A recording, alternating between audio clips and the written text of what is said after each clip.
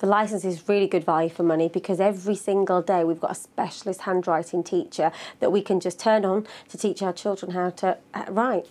And also, uh, the, the specialist handwriting teacher helps the teacher to deliver the session as well.